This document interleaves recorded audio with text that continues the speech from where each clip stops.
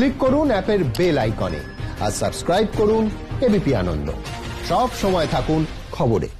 সারা দেশে নানাভাবে উস্কানি দেওয়াই পাকিস্তানের চক্রান্ত তারই শিকার হয়েছেন মুর্শিদাবাদের শ্রমিকরা। মন্তব্য বিজেপি রাজ্য সভাপতি দিলীপ ঘোষের। ধমকি ফেরেনি সরকার ধমকি আনছে। এর আগেও তো ওদেরকে ধমকি দেওয়া হয়েছিল আসেনি।